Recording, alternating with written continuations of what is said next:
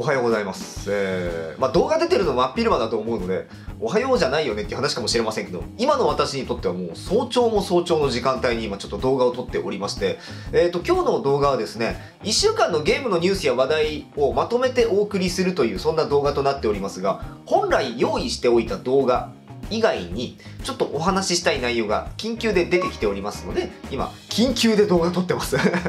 緊急感あんまり出てないかもしれないんですけれども、えー、何の内容かっていうのは皆さん察しがついてるような気はするんですけれども、えー、日本の e スポーツチームが、えー、世界で好成績を収めるという出来事がありました。現在行われておりますバロラントの世界大会。2022バロラントチャンピオンズツアーステージ1マスターレイキャビクっていうですね、まあ、アイスランドのレイキャビクっていうところで行われている大会がございまして日本のチームであります ZETA DIVISION が3位という好成績。これ日本の e スポーツ界にとってはもうね歴史的快挙と言っても過言ではない、えー、非常にですねすごい成績を収めるという出来事が起こりました。Twitter ではゼータウィンというキーワードがですねトレンドに入っておりましてこれしかも日本だけじゃなくて世界トレンドにも入ってたみたいでして、まあ、多くの人が日本の活躍に熱狂したということでしょうかね。えー、大会ではですね、日本のチームゼータディビジョンは、1戦目は韓国に敗れはしたものの、その後イギリスに勝利し、プレーオフ進出をかけたブラジル戦にも勝利。その後プレーオフの初戦でドイツに敗れるもその後オランダさらには初戦で敗北した韓国を打ち破りトップ3入りを果たしましたで本日のですね、まあえー、と夜中にですねアメリカのオプティックゲーミングというチームと戦って、えー、そこに敗れまして3位決定となりましたいやこれ本当にすごいことでね、えー、と日本の e スポーツチームで過去に好成績を出したのはレインボーシックスシージで4位というものがあったんですけれどもまあ、それとはまた違ったゲームとなりますが、今回バロラントで3位という形になりました。もともと下馬評では、日本は非常にですね、評価が低くですね。というのもやっぱり日本では FPS の大会で、えー、何か好成績を収めるっていうことがなかなかやっぱりね、少ないものですから、今回のこのね、好成績は日本のね、えー、e スポーツ界にとってもすごく大きなことなのではないかと思います。えー、大会の模様はですね、バロラントの日本公式の YouTube チャンネルでアーカイブで確認することができます。ぜひ皆さん日本の活躍をね、まあ、リアルタイムで見ることができなかった方々はそちらでご覧になってみてはいかがでしょうか。私もね、なんかちょ、チラチラ見てはいたんだけど、試合やってる時間帯が時間帯なだけに、全部が全部を見ることはちょっとできなかったんですけれどもね。まあ、これをきっかけにね、バロラントとかに興味持ってくれたり、なんか日本の e スポーツにね、興味持ってくれる人が増えたりすると、なんかすごくいいんじゃないかななんて感じました。まあ、バロラント自体はね、日本でプレイしてる人の数自体はそんなに多くはないかもしれませんけれどもね、ひょっとしたらこれを機にね、増えてくる可能性十分にあるかもしれませんね。というわけでね、えー、じゃあ緊急で、えー、日本の e スポーツチームの活躍をお伝えさせていただきました。では、本来用意していた動画に 戻りましょう連休の予定立てましたか？連休の予定。いや、ゴールデンウィークですよ、ゴールデンウィーク。もう、目の前まで来てますよね。まあ、ご時世的になんかこう旅行行くとかそういう感じばかりでもないような気はするんですけれどもね、まあ、どこかお出かけする方もそうでない方も、まあ、楽しい時間がやってくるといいですよね家にいる方はほらあのゲームとかで遊んだりしてもいいかななんて思いますし、まあ、中にはさ連休関係ないんだよねっていう人も結構いると思うんだよね、まあ、私もあの暦上の祝日とかは全然関係ない人間なんで、お気持ちわかります。どうも皆さんこんにちは、刑事チャンネルです。えー、初めての方は初めまして。というわけで今日の動画なんですけれども、えー、ここ1週間のゲームのニュースや話題で気になったものをバババッとお話ししていくというそんな動画となっております。1週間もあるとね、ゲームの話題だけでもかなりたくさん楽しい話題があったりしますので、ぜひ1週間のおさらいでお付き合いください。急に発表されましてね、急に。えー、スプラトゥーン3の発売日が9月9日。いや、それだけじゃないですよね。ゼノブレイド3の発売日も7月29日と、えー、発表されまして、任天堂のゲームソフトのビッグタイトルが2つ一気に、まあ一気にとか日をまたいでですけれどもね、ドドンと発表されたような形となっております。え、みんなスプラトゥーン3やるの？え、やる？ちょっと教えてほしい。みんなもやるのかやらないのか。えー、いや、私やりますよ。ね。えー、勝負ですね。そう、いや、俺ね、スプラトゥーン3に先駆けて2買っちゃおうかなって思ってる。ちょっと練習しといた方がいいかなって、なんかちょっと気持ち高ぶり始めてるね。なぜかわかんないけど。えー、いい年したおじさんがスプラトゥーンに高ぶるという状況が起きておりますけれども、えー、スプラトゥーン3とゼノブレイド3、まあ、どっちも3つながりですね。えー、発表されておりますっていうちょっと大きなニュースが先週ございました。えー、ちょうどですね、ゴールデンウィークセールがですね、4月25日から任天堂スイッチ行われまして、どうやらゼノブレイド2もスプラトゥーン2も安くなると。で、そうそう。で、結構多くの人がゼノブレイド面白いよってみんな言うんだよね。だからゼノブレイド2ちょっと遊んでみようかなっていうのもちょっと思ってましてあれ？忙しい？みたいな感じになってきますけれどもね。スプラトゥーン2とゼノブレイド2、えー、落ち着いて。スプラトゥーン2とゼノブレイド2はちょっとね、このゴールデンウィークセールで買おうかどうかなっていうのをちょっと考えております。ゴールデンウィークセールが始まったら、えー、っと、ニンテンドースイッチでお買い物する動画なんかも作っていこうかなと思っておりますので、ぜひね、楽しみにしていてください。さあ、そんなわけでね、なんか任天堂関連の大きな話題がバーってあったんですけど、これね、よくよく考えたら、あの、決算発表の前って、いろんなことなんかゲームの動きとか発表する傾向ってちょっとあるよね。任天堂の決算発表が5月ちょっとにあるので、このタイミング、ゴールデンウィーク前にいろんな発表を行ったっていうのは、まあ、至極当然の動きなのかなって今にして思えば感じますね。ということはですよ、えー、っと、プレイステーション関係のなんか発表の動きもあるかもしれないなって思ってるのと、春に発表が予定されております、ファイナルファンタジー16の発表なんかも、まあおそらく近々、ゴールデンウィーク前かゴールデンウィーク明けかに行われるんじゃないかなというふうに勝手に予想しております。ちなみにプレイステーションの方ではちょっと動きがありまして、プレイステーションプラスのサービス内容が6月から新しくなると言われているサブスクサービスの件なんですけれども、サービス開始日が発表されております。日本はですね、プレイステーションプラスの新しいサービスは6月1日から開始となっております。プレイステーションブログに書かれております、まあ、その PS プラスのね、リニューアルに関する記事が更新されておりましたといったところです。ちなみになんですけれども、海外の PS ブログの記事を見ると、全く新しいプレイステーションプラスが6月に発売され、700以上のゲームとこれまで以上の価値があります。これまあ、あの、翻訳されたものなので、ちょっと歪な日本語ではありますけれども、700以上のゲームという風にありますね。日本の記事では具体的にね、あの、本数は書かれていないので、ひょっとしたら日本と海外で配信されるゲームの数ってちょっと変わってくる可能性あるのかななんていうふうには感じているんですけれども、すごいたくさんのゲームが、まあなんだろう、レトロなゲームも含めて、えー、配信されるのかなとちょっと今から楽しみにしております。6月1日、楽しみですね。プレイステーションプラスはね、今、そのスプリングセールみたいなのを4月27日まで行っているんですけれども、おそらくそれが終わると同じぐらいのタイミングでゴールデンウィークセールみたいなのがプレイステーションストアでもあるんじゃないかなと思っております。まあ、そちらのセールも開始されましたら、まあ、どんな目玉商品があるのかちょっと一緒にみんなとね、見ていきたいななんて思っております。さあでは続きましての話題に行きましょうか。えーとね、めっちゃくちゃ派遣取りそうなゲームがあるんです、今。皆さんご存知の方もひょっとしたら多いと思いますけれども、そのすごく派遣を取っちゃいそうなゲームの名前が、タワーオブファンタジー。えー、なんか幻の塔と書いて幻塔と読んだらいいんでしょうか。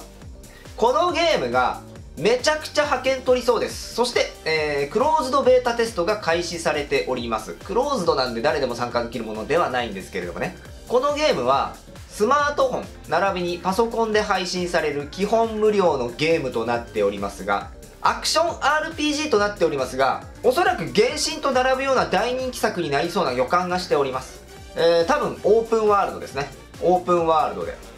マルチプレイもできて、爽快なアクション戦闘になっておりまして、ちょっとハイテクな感じの多彩な乗り物を乗りこなしたり、そして何よりキャラクターが魅力的。ちなみにキャラクターに関しては自分でキャラクタークリエイトできたりするんですけれどもキャラクターの目とか髪とかのパーツを選ぶだけではなく目の位置大きさとかも変えられるかなり細かい、えーと、キャラクタークリエイトになってるそうです。このゲームめちゃくちゃ人気出そうじゃないですか。日本でも。絶対人気になりますよねこれね。なんていうかすっげえ金かかってそうなゲームなんですよ。えっ、ー、と制作してるのはレベルインフィニットっていうところでここはテンセントのゲームブランドとなっているはずですね。原神もねサービス開始された当初って結構なんややんややんやいろいろあったんですけれどもあの結局今もものすごい人気でスマートフォン系のゲームではかなりそのユーザーも多く課金額もめちゃめちゃ多いゲームとなっておりますからね。まあ、あのゲームの雰囲気あり方から見るとかなり原神を意識した作りには間違いなくなってるなっていう気はするんですけれどもこのゲームも非常に人気になってしまいそうな気がします。とりわけちょっとアクション性が強そうな雰囲気はありますので、まあ、アクションゲーム好きな方にもいいのかもしれませんね。サービス開始予定は2022年となっております、まあ、基本無料なのでこれねあのビジュアルが気になる方はぜひね、まあ、スマホであれパソコンであれサービス開始されたら一度遊んでみるといいかなと思います。任天堂スイッチとかそのプレイステーション XBOX みたいな、まあ、あのハードゲーム機なんかにも配信が来た日にはもう抜かりのないゲームになっちゃうのかなという気がしております。えー、では続きましてちょっと景気のいい話題。光栄テクモグループの、えー、正社員の基本給を平均23%上げると発表されました。そして初任給も29万円に増額したそうです。ちょっと待てよと。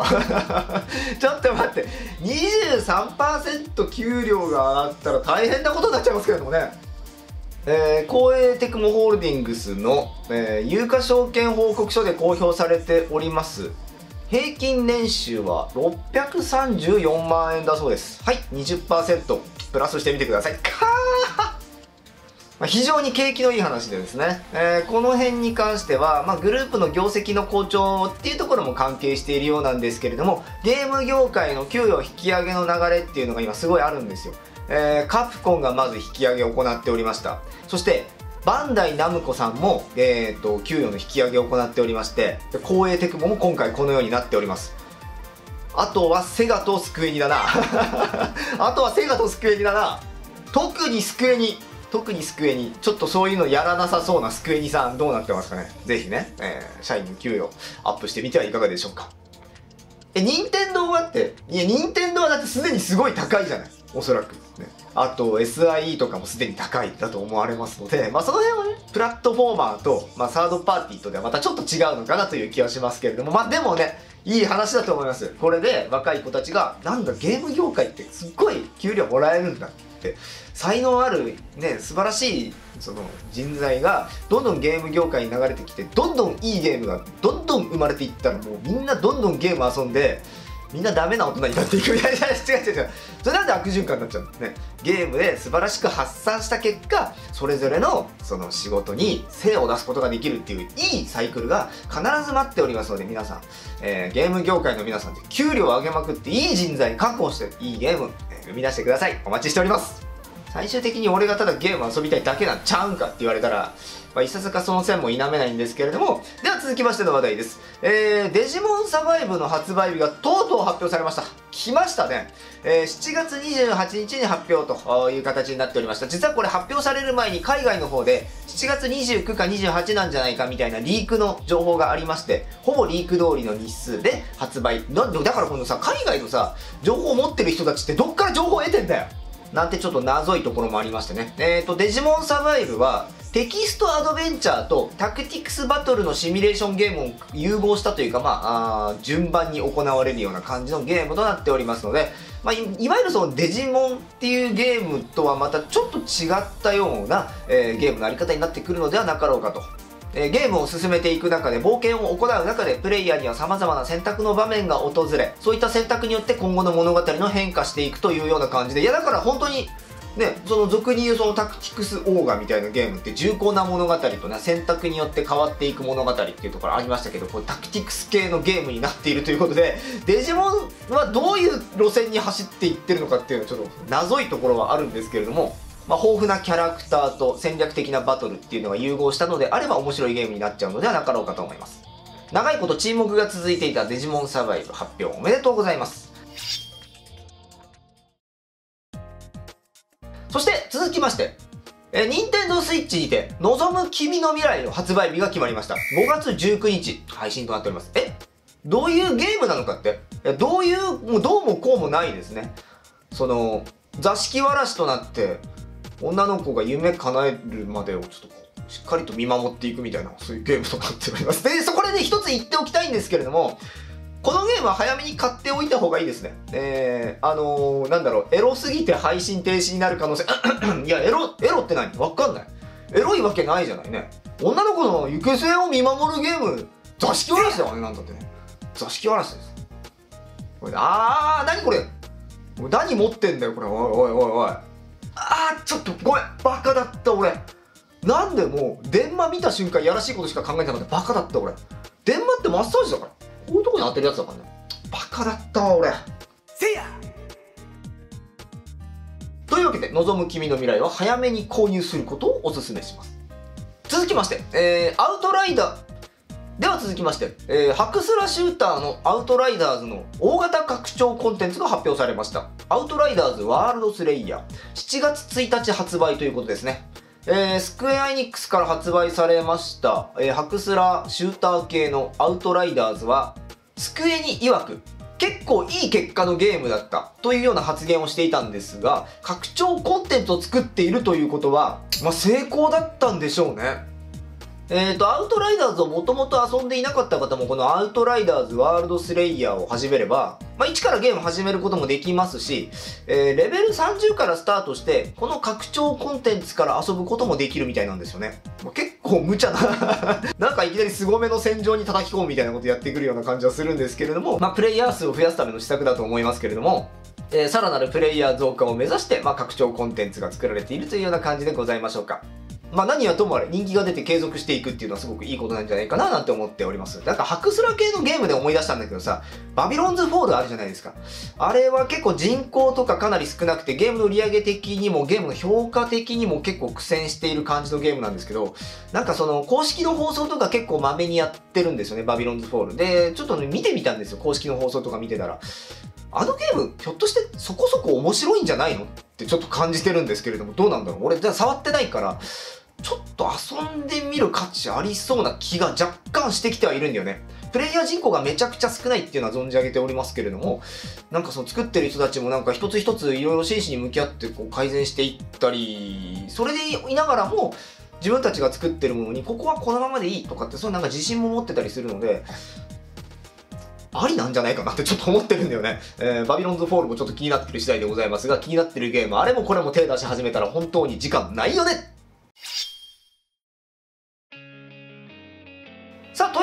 でですね、えー、1週間のゲームの話題振り返って見ていました。まあ、ほんといろんなね、話題がありますよね。まあ、何はともあれいろんなゲームの発売日が発表されたり、プレイステーションの新しいサービスのね、え、開始日が決まったりと、まあ、めでたいところだと思います。えー、まあ、あのー、ゴールデンウィーク、さし入っていきますけれども ゴールデンウィークに差し掛かっていきますけれども、皆さん連休の方はぜひですね、えー、まあ、体調、お体に気をつけつつ、楽しい時間を過ごしてみてください。えー、ぜひ、連休中も動画出しますので、えー、皆さん動画でお付き合いください。